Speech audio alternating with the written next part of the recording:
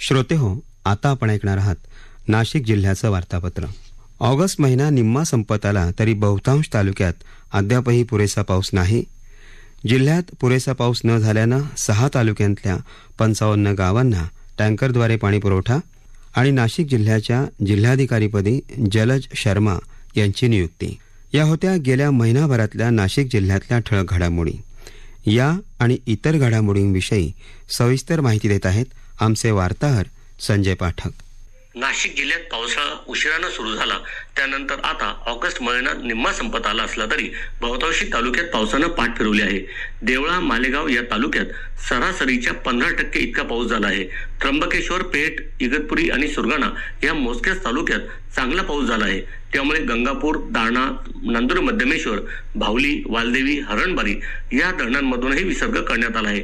मात्र अन्य धरणात पुरेसा साठा नाही. नाशिक जिल्ह्यात सर्वात मोठे धरण असलेल्या गिरणा धरणाची क्षमता अठरा हजार दशलक्ष घनफूट आहे. गेल्या वर्षी हे धरण एक्क्याण्णव टक्के इतकं भरलं होतं. मात्र यंदा सदोतीस टक्के इतका साठा आहे. नाशिक जिल्ह्यात एकूण चोवीस धरणं असून त्यात सरासरी त्रेसष्ट टक्के इतका जलसाठा आहे. नाशिक जिल्ह्यात पुरेसा पाऊस न झाल्यानं भर पावसाळ्यात टँकरद्वारे पाणी पुरवठा करावा लागत आहे. सध्या जिल्ह्यात सहा तालुक्यात पंचावन्न गावांना एकशे चार टँकरद्वारे पाणी पुरवठा केला जात आहे.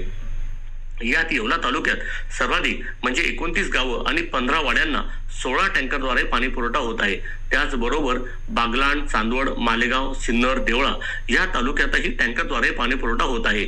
एकूण एक लाख एकतीस हजार नागरिकांची तहान टँकरद्वारे भागवली जात असून रोज एकशे तेवीस फेऱ्या होत आहेत. नाशिक जिल्ह्याच्या जिल्हाधिकारीपदी जलज शर्मा तर नाशिक महापालिकेच्या आयुक्तपदी डॉक्टर अशोक करंजकर यांची शासनाने नियुक्ती केली आहे. महापालिकेचे आयुक्तपद गेल्या दोन महिन्यांपासून रिक्त होतं. नाशिक महानगर विकास प्राधिकरणाच्या महानगर आयुक्तपदी सतीश खडके यांची नियुक्ती करण्यात आली आहे. वीसशे अठरा मध्ये हे प्राधिकरण स्थापन करण्यात आलं. त्यानंतर हे पद अद्यापही रिक्त होतं. नाशिकच्या महाराष्ट्र पोलीस प्रबोधिनीचा एकशे बावीसावा दीक्षांत सोहळा राज्याचे उपमुख्यमंत्री आणि गृहमंत्री देवेंद्र फडणवीस यांच्या उपस्थितीत पार पडला. या प्रबोधिनीत प्रशिक्षण पूर्ण करणाऱ्या चारशे चौऱ्याण्णव पोलीस उपनिरीक्षकांची तुकडी पोलीस दलात सामील झाली आहे. या कार्यक्रमाच्या वेळी उपमुख्यमंत्री देवेंद्र फडणवीस यांनी पोलीस दलासमोरील आव्हानं मांडताना सायबर गुन्हेगारी मोडीत करण्याचं आवाहन केलं. यावेळी सर्वोत्कृष्ट प्रशिक्षणार्थी म्हणून अभिजित काळे तर उत्कृष्ट महिला प्रशिक्षणार्थी म्हणून रेणुका देवीदास परदेशी यांना फडणवीस यांच्या हस्ते गौरवण्यात आलं. या कार्यक्रमाला नाशिकचे पालकमंत्री दादा भुसे राज्याचे पोलीस महासंचालक रजनीश सेठ यांच्यासह अन्य मान्यवर उपस्थित होते. नऊ ऑगस्ट क्रांती दिन ते पंधरा ऑगस्ट स्वातंत्र्य दिन या दरम्यान मेरी मिट्टी मेरा देश अभियान नाशिक जिल्ह्यात राबवण्यात आहे. या अभियानांतर्गत नाशिक जिल्हा प्रशासन आणि नाशिक महापालिकेसह अन्य शासकीय विभागाच्या अधिकाऱ्यांनी पंचप्रण शपथ घेतली.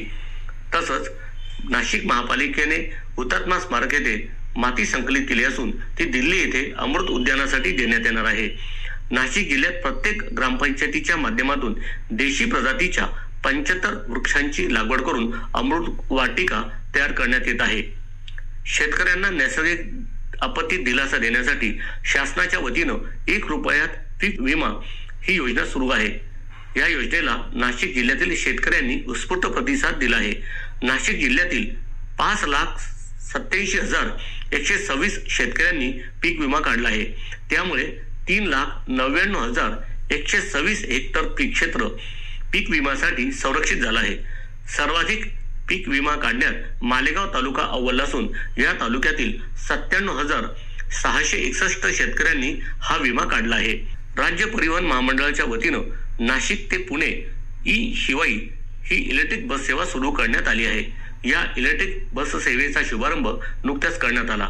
खासगी कंपनीच्या मदतीनं ही सेवा सुरू करण्यात आली असून दररोज आठ बस धावणार आहेत. या बस अत्यंत अत्याधुनिक असून सुरक्षा प्रणालीमुळे अपघात टाळणे शक्य होणार आहे. आकाशवाणी करता संजय पाठक नाशिक. याबरोबरच नाशिक जिल्ह्याचं वार्तापत्र संपलं. हे वार्तापत्र आकाशवाणी मुंबईच्या प्रादेशिक वृत्त विभागानं सादर केलं.